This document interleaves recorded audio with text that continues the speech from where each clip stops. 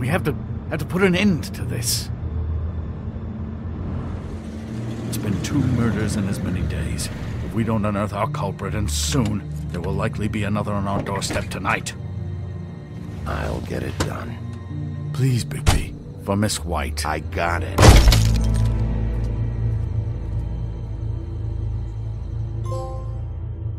As I can.